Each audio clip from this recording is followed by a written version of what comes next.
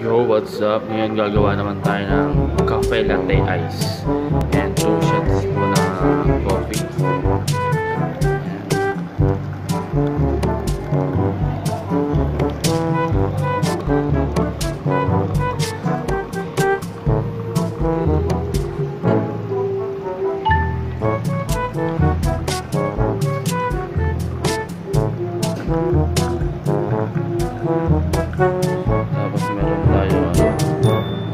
glass of ice. Tapos ito po yung milk natin.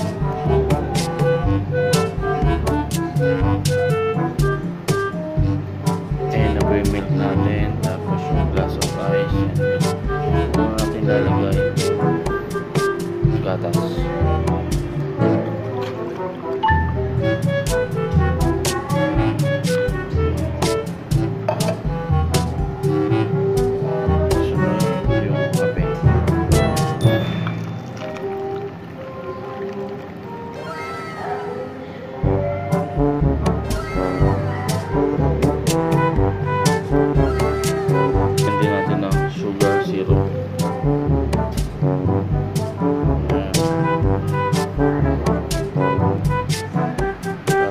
natin ng straw. Ayan. Tapos ayun na. Tapos na ang coffee latte ice natin. Bibigay natin kay chef. Chef oh. With sugar syrup. Ayan. Ayan si